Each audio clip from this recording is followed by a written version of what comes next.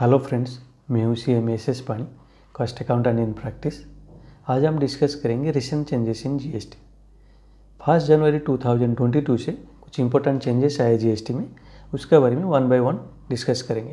पहला ITC first January 2022 का बाद जी आर टू बी में जितना अमाउंट अपेयर होगा टैक्स पेयर उतना ही आईटीसी क्लेम कर सकता है. जनवरी 2022 से पहले जो amount G S T R two B में आता था in addition to that five percent extra I T C tax payer claim कर सकता था। अगर कोई इन्वाइस मिसिंग है G S T R two B में अफेयर नहीं हो रहा है तो up to maximum five percent वो extra I T C claim कर सकता था टैक्स पेयर लेकिन first January two thousand twenty two का बाद G S T R two B में जितना आएगा अमाउंट उतना ही आई टी सी क्लेम करना पड़ेगा। रूल 36 सब रूल फोर चेंज हो गया अमेंडमेंट हो गया, वो अप्लीकेबिलिटी फ़र्स्ट जनवरी 2022 से है। तो 2000 जनवरी 2022 का बाद G S T R two में जो आएगा आई से उतना ही मिलेगा।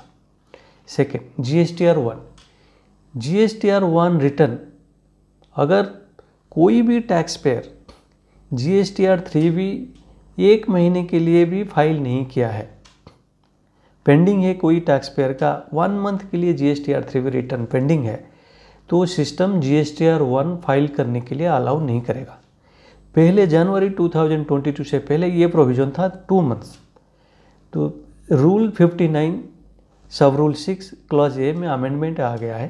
फ़र्स्ट जनवरी 2022 से अगर वन मंथ का डिफ़ॉल्ट आता है किसी का, कोई ये G S T R three B return file नहीं किया है, वो केस में tax payer G S T R one file नहीं कर सकता है। सपोज़ कोई एक tax payer G S T R three B दिसंबर 2021 का फ़ाइल नहीं किया है। तो जब वो tax payer G S T R one January twenty twenty twenty two का फ़ाइल करेगा, से on due date tenth February 2022 को तो सिस्टम वो फ़ाइल करने नहीं देगा, वो ब्लॉक कर देगा। तो G S T R three B file करने का बाद ही अलाउ करेगा।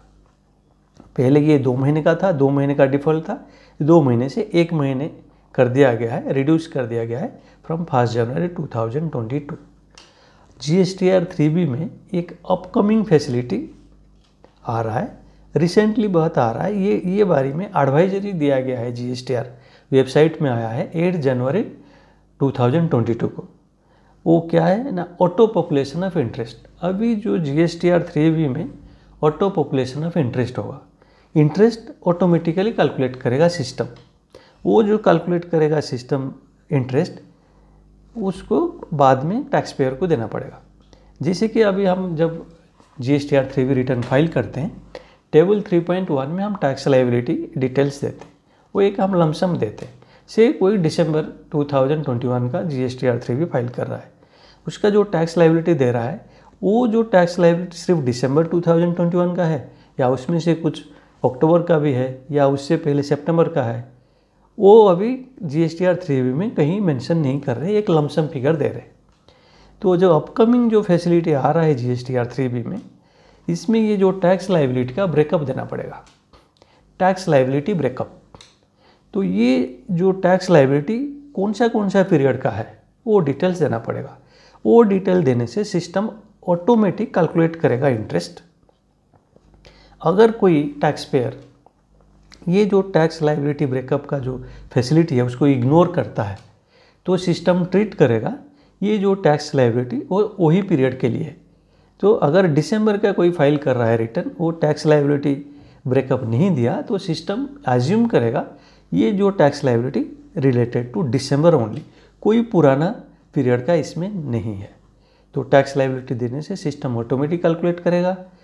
और जब जनवरी वही टैक्स पेयर जब जनवरी 2022 में जनवरी 2022 का वो G S T R three B file करेगा इंटरेस्ट ऑटोमेटिकली कैलकुलेट होके उसका G S T R three में टेबल 5.1 में आ जाएगा। तब उसका हिसाब से टैक्स पेयर को इंटरेस्ट पेमेंट करना पड़ेगा। अगर इसमें और एक इनिशियली एक और प्रोविज़न दिया गया है टैक्स पेयर के लिए। टैक्स पेयर वो जो ये इंटरेस्ट लाइबिलिटी आएगा टेबल 5.1 में, उसको मानुअली भी चेंज कर सकता है। इनिशियल पीरियड के लिए दिया गया है। हो सकता है आगे इसको हटाई भी दिया जा, हटा जा, हटाया जा सकता है, लेकिन इनिशियली ये प्रोविज़न दिया गया है। टैक्स पेयर अगर चाहे तो मानुअली भी वो जो भी इंटरेस्ट सिस्टम कैलकुलेट कर रहा है, उसको चेंज कर सकता है। अगर वो इसे मैनुअली चेंज करता है, क्या रिटर्न फ़ाइल कर पाएगा टैक्स पेयर यस अभी के लिए for the timing tax payer अगर मैनुअली भी चेंज करता है इंटरेस्ट तब भी वो फ़ाइल कर सकता है G S T R three B return लेकिन उसके लिए एक एरर मैसेज आएगा but tax payer return file कर सकता है G S T R three B return file कर सकता है. जब G S T R three B return का वो डाउनलोड करेगा G S P D F P D F return file करने का बाद G S T R three B का जब पी डी एफ़ वो डाउनलोड करेगा वो टाइम में सिस्टम कितना इंटरेस्ट कैलकुलेट किया था? मानुअली कितना चेंज हुआ है? वो डिटेल्स भी उसमें आ जाएगा। ये अपकमिंग फैसिलिटी है। अभी रिसेंटली आएगा। कब आएगा? वो जीएसटी डिपार्टमेंट वो बताएगा। थैंक यू वेरी मच अगर मेरा वीडियो आपको पसंद आया प्लीज़ वीडियो को लाइक कीजिए शेयर कीजिए और मेरा चैनल को सब्सक्राइब कीजिए।